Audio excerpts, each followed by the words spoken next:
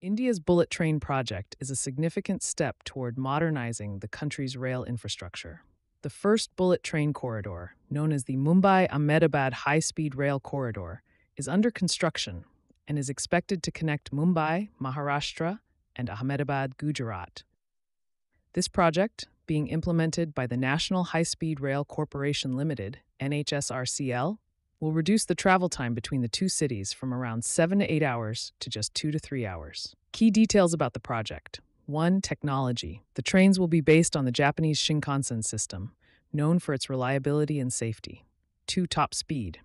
The bullet train will have a top speed of 320 kilometers per hour. 3. Distance. The total distance between Mumbai and Ahmedabad is approximately 508 kilometers. 4. Completion timeline. Originally planned to be completed by 2023, the project has faced delays due to land acquisition issues and the COVID 19 pandemic. The revised target for partial operation is around 2026 2027.